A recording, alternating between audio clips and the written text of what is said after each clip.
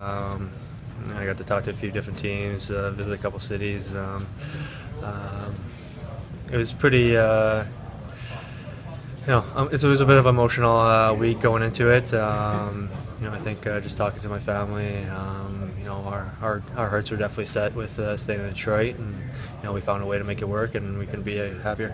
You expressed, uh, I think, at the locker cleanout, some con- con- concern about your role and what it would be, some uncertainty.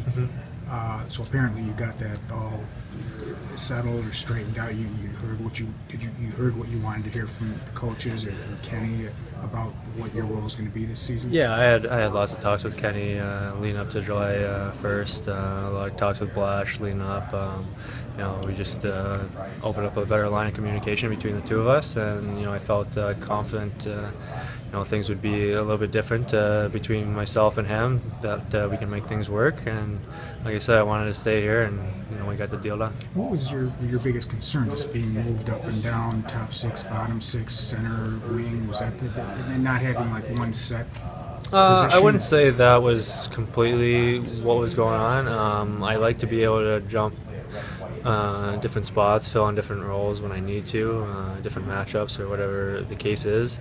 Um, sometimes I just didn't feel like uh, the message was relayed to me clearly. Uh, I didn't know if I was moving because I wasn't playing well, if I was getting sad because I was doing things wrong, or if it was matchups. Um, so I just, uh, we know we talked and we just wanted to make a better line of communication between the two of us, and you know that'll have to uh, continue uh, throughout the year.